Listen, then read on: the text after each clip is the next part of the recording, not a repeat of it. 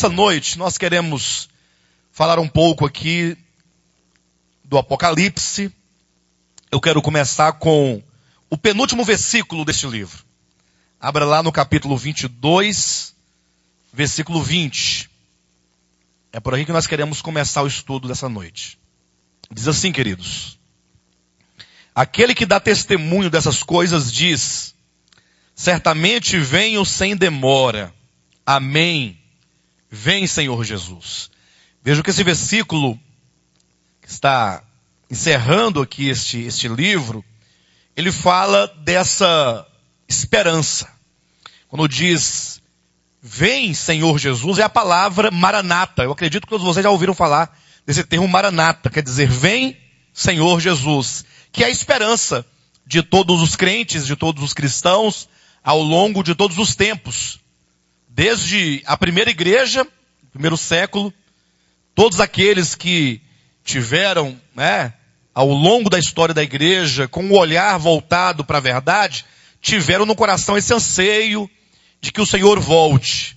Estudar o livro do Apocalipse nada mais é do que você a, a cultivar no coração esta esperança.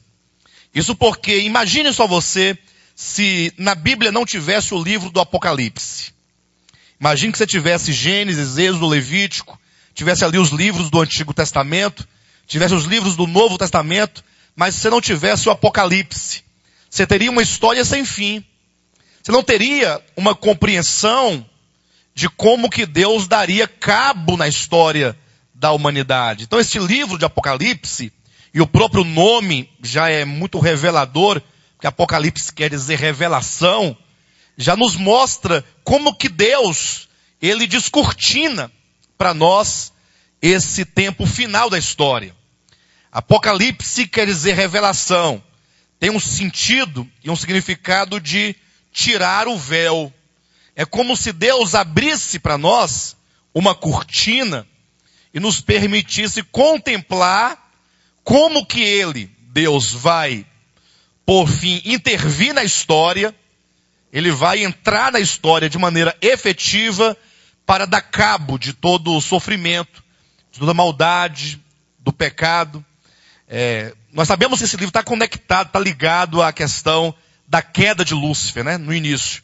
Não tem como você compreender o Apocalipse de maneira plena se você não está constantemente linkando, né, ligando as profecias do Apocalipse à sua origem, lá no começo, com a rebelião de Lúcifer. De maneira que nós sabemos que Deus, no início, com a queda de Lúcifer, ele não teve uma ação enérgica no sentido de por fim ao mal. Vocês estão entendendo? Ou seja, com a queda, com a rebelião de Lúcifer, eu costumo sempre falar, é, talvez qualquer um de nós pensássemos assim, bem, seria mais fácil, seria melhor para Deus se Deus banisse o mal no, no início, na sua raiz.